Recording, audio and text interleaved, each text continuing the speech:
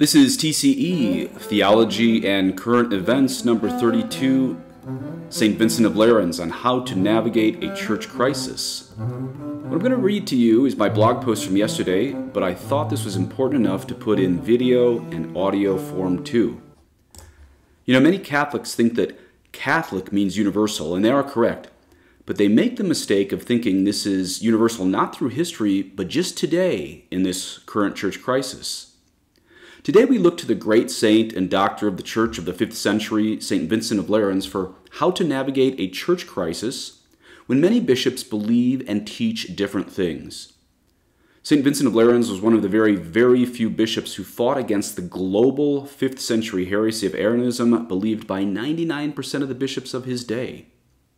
We will see in a couple minutes in his writings why the word Catholic does not mean universal, for example, as in an opinion poll of a certain time of history, but rather that Catholicism is that which has been believed, quote, everywhere, always, and by all, end quote, Catholics of the past. I will link the New Advent website so you can check these quotes that I'm going to read you. The first quote that we're going to start with is Moreover, in the Catholic Church itself, says St. Vincent of Lerins, all possible care must be taken that we hold that faith which has been believed everywhere, always, by all. For that is truly, and in the strictest sense, Catholic, which, as the name itself and the reason of the thing declare, comprehends all universally. This rule we shall observe if we follow universality, antiquity, consent. We shall follow universality if we confess that one faith to be true which the whole Church throughout the world confesses, Antiquity, if we in no way depart from those interpretations which is manifest were notoriously held by our holy ancestors and fathers.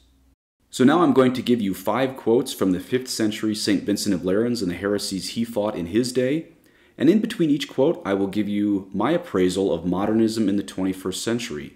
So I'll just say St. Vincent of Lerins with his quote, and then I will read you how I think this applies to modernism today, and identifying how we can navigate a church crisis when most Catholics don't believe Catholicism directly from this great doctor of the church and saint of the 5th century.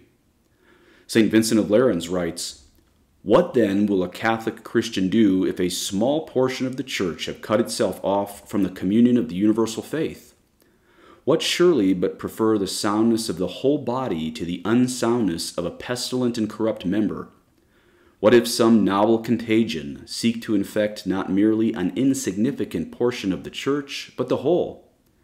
Then it will be his care to cleave to antiquity, which in the present cannot possibly be seduced by any fraud of novelty.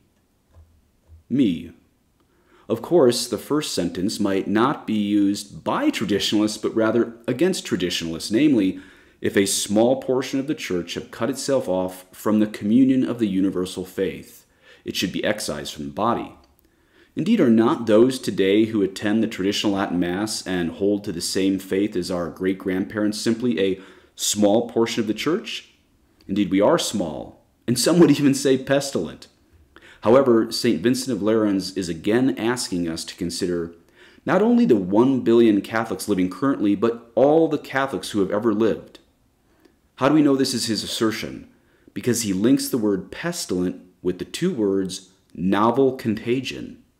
In other, in other words, any new doctrine developed by so called Catholics must always be seen as a novel infection affecting only certain sad times of church history.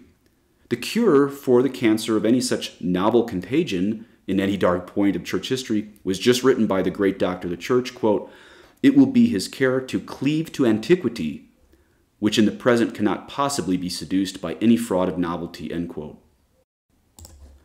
St. Vincent of Lerins. So also, when the Arian poison had infected not an insignificant portion of the church, but almost the whole world, so that a sort of blindness had fallen upon almost all the bishops of the Latin tongue, circumvented partly by force, partly by fraud, and was preventing them from seeing what was most expedient to be done in the midst of so much confusion, then whoever was a true lover and worshiper of Christ preferred the ancient belief to the novel misbelief, escaped the pestilent infection. Me. Again, we see that it is possible for God to allow 99% of the Catholic bishops of the world to fall into error in the darkest times of church history, especially when Catholics live under a great punishment for God for their own sins. But the litmus test as to whether 99% of the Catholic bishops of the world at any time of church history fall into the darkness of heresy is if they, quote, prefer the ancient belief to the new or novel misbelief, end quote. So, in other words, when there is confusion in church history, this great saint, this great doctor of the church, St. Vincent of Lerins, shows that those who have new beliefs are living in blindness, but one who may be found to be a true lover and worshiper of Christ holds the ancient belief, which is always found to be the same that all dead Catholics before us believed. Indeed, these dead Catholics are the most alive in Christ, as you well know. St. Vincent of Lerins, but might it be that we invent these charges out of hatred of novelty and zeal for antiquity? Whoever is disposed to listen to such an insinuation, let him at least believe the blessed Ambrose, who, deploring the acerbity of the time, says in the second book of his work, addressed to the Emperor Gratian, Enough now, O God Almighty! Have we expiated with our own ruin, with our own blood, the slaughter of confessors, the banishment of priests, and the wickedness of such extreme impiety? It is clear beyond question that they who have violated the faith cannot remain in safety. Okay, me.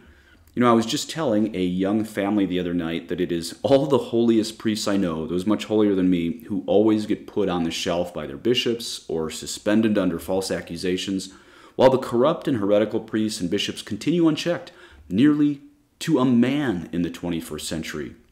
Indeed, the heresy of modernism executes the exact thing that St. Ambrose begged God to end, to quote, the banishment of priests, end quote. St. Ambrose and St. Vincent of Lerins lamented the sidelining of true priests, not heretical priests. So also we too in the 21st century must pray for the end of this punishment from God that he allows, namely apostasy from the top down as prophesied most likely in the third secret of Fatima. St. Vincent of Lerins. But in this divine virtue, as we may call it, exhibited by these confessors, we must note especially that the defense which they then undertook in appealing to the ancient church was the defense, not of part, but of the whole body. For it was not right that men of such eminence should uphold with so huge an effort the vague and conflicting notions of one or two men, or should exert themselves in the defense of some ill advised combination of some petty province but adhering to the decrees and definitions of the universal priesthood of Holy Church, the errors of apostolic and Catholic truth, they chose rather to deliver up themselves than to betray the faith of universality and antiquity, for which cause they were deemed worthy of so great glory as not only to be accounted confessors, but rightly and deservedly to be accounted foremost among confessors. Me, Notice here that St. Vincent of Lerins is basically saying that the bad guys of church history always promote notions that he can only describe as vague, where the good guys of church history hold to a faith he can only describe as apostolic and Catholic. You know, modernism has infected the whole church today, but it started, just as St. Vincent of Lerins said about Arianism, with, quote, the vague and conflicting notions of one or two men, end quote. Heretics always use vague language so they can be slimy and sneak away like a snake. But those who hold to apostolic Catholicism choose, quote, the faith of universality and antiquity, end quote. Notice again that for St. Vincent of Lerins, this great doctor of the church, universality does not mean this erroneous idea, that which is believed by every Catholic in an isolated time of church history, but rather St. Vincent directly links the word universality to antiquity. That is, the Catholic faith is the faith of our fathers. Our faith is that which is believed not by, say, a bishop's conference, but that which has been believed everywhere, always, and by all, as the saint said.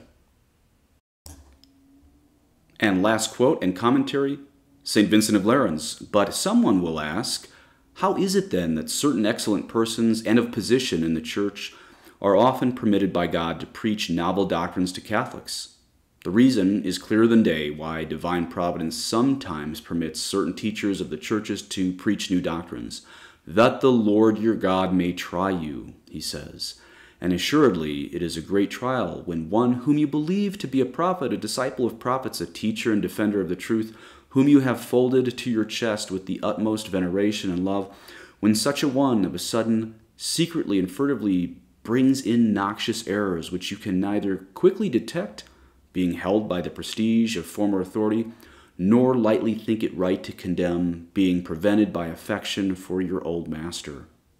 Okay, my last commentary on this. You know, notice that God only allows good Catholics to be betrayed doctrinally by a bad hierarchy, not so that such good Catholics go to hell, but so that they have a higher place in heaven through identifying the classic truths of the Catholic faith around such bad leadership.